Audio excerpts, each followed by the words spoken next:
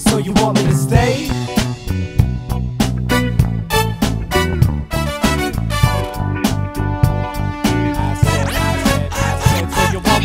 So you want me to stay? Well, what's up, Pigeon World? What's up, mga kalapatids? Here's the first team right here. Um, I don't know how many there are, but this one just got here, and that one just got here. So far, so good. They look nice. Um, uh, well, we just we needed the the red, you know, the silver family, and then we we would have been complete. But and then the. Uh, well, regardless, man, they, they look nice and healthy. So, um, so this is my 2021 young bird um, racing pigeons. These are the young birds that I'm going to raise um, this coming September. Um, so, you know, around that time they should be able to be doing uh, 100 miles. Uh, All right, so the young birds just got done eating. Um, what I've been doing is um, I've been whistling. Uh, you know, getting them to respond in my whistle. Been trap training them in this uh, this trap door that I got. Um, you know, trying to view the area. All those little stuff I've been trying to do. So hopefully they work. Okay. All right. All right. We're pretty much done here. Let's go ahead and give you guys an update at the breeding section. All right. So this is the parents of the grizzle. Um, one of my young birds. So this is the parents, and she has one egg there, and hopefully she lays one tonight. All right, so this is the hen, this is the cockbird for that. All right. All right, let's give you guys an update here for my uh, blue check family. So this is the cockbird right there, and uh, this is the hen. Mm. Hopefully she lays one tonight. This is the hen. All right.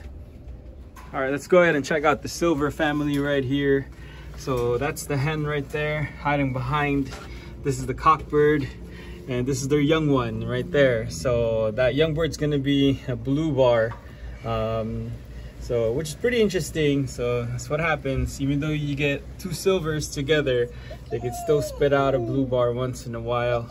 Um, pretty interesting. Yeah, pretty excited. Kind of disappointed to be honest with you because I do want a, uh, couple of silvers. But you know I'll, I'll take this young bird. Uh, it looks health it looks really healthy and it's big. Um, so all right. Thank you guys all right let's go ahead and check out these guys right here. So that's blindy right there. That's bulag. And uh, she's sitting on two eggs. All right. And then here's the dad right here. That's 37542 um, that's the uh, that's the bird that came home first uh, during the uh, the 350 mile race for me last year for the young bird first bird that arrived uh, here for the 350 mile race. All right, let's go over here. So these are currently my stock birds. These are the birds that are uh, not doing anything for me right now. Um, so these are my stock birds. These two are paired up, but I separated them. That's the hen, that's the cockbird. Um, these are these are these two. I separated them also. Um, this one's a little bit too young, but he'll be ready soon.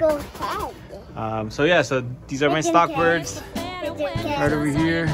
All right, guess that's about it here at GPS Loft. Um, thank you guys for tuning in, and have a great day.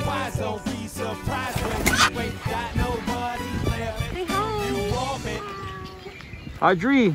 Audrey, say hi. Can you wave hello?